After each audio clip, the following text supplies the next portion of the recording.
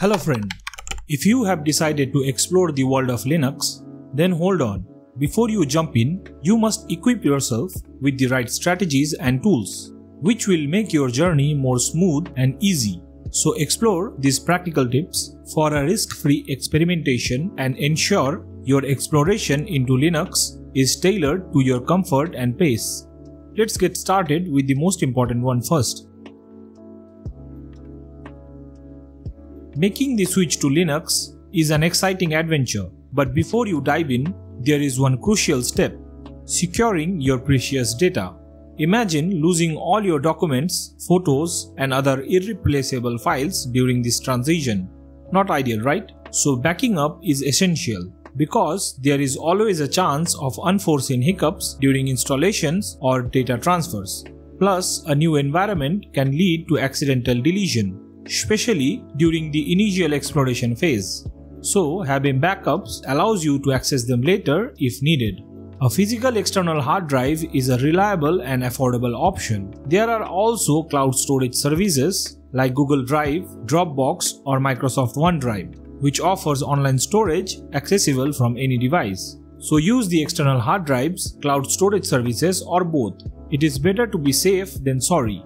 By taking these precautions, you can ensure a smooth and stress-free transition to Linux. For keeping data backups, use the 3-2-1 rule. This popular backup strategy suggests having 3 copies of your data, 2 on the different local media like your computer and an external hard drive, and 1 offsite copy like a cloud storage service.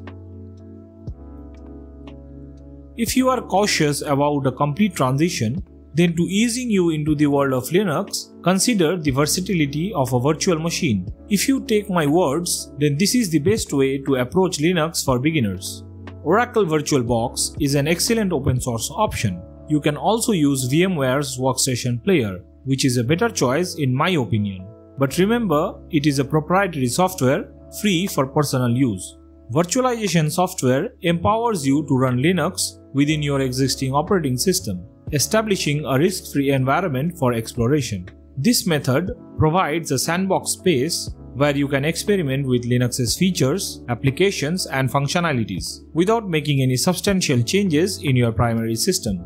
It is similar to having a virtual playground where you can familiarize yourself with Linux's interface, software availability, and overall user experience. Virtual machines offers a controlled and reversible environment, allowing you to test various Linux distributions and their configurations before going for a permanent shift. And the best thing is that you can make mistakes without any worries. This strategy ensures that you test Linux's compatibility with your needs and preferences, while maintaining the security of your existing computer setup. Virtual machines act as a valuable tool for hands-on exploration, making the transition to Linux a gradual but a well-informed process. Virtual machines offers a safe space for experimentation. But what if you want more hands-on experience, but without installing the Linux on your PC? That's where the Live USB comes in. It is a bootable USB drive packed with a fully functional Linux distribution. No installation is required. Simply plug the USB drive into your computer and boot from it. You will be greeted with a complete Linux environment, ready for exploration. A live USB can help you perform various tasks, which is sometimes is not possible with a virtual machine. With live USBs, you can do hardware troubleshooting such as checking the health and performance of your components. Using a live USB mode, you can identify whether your hardware even support Linux or not, which is a big issue even now with many laptop vendors. Live USBs are easy to use and additionally they are non-destructive, allowing you to run it without modifying or erasing your existing data or operating system. And the best thing about Linux is that almost all the Linux distributions comes with a live USB mode by default. If you want a real world testing of Linux, then the best option to consider is dual booting. Dual booting allows you to have both Linux and your current operating system on the same machine. It is like having a safety net. You can gradually immerse yourself in the Linux experience without fully committing. This way, you maintain access to your familiar environment while exploring the Linux world at your own pace. Dual booting is a practical way to test Linux that also ensures a smooth transition, giving you the flexibility to switch between systems based on your comfort level and specific needs. And as you become more comfortable with Linux, you can gradually reduce reliance on your previous operating system until you are ready to make the complete shift.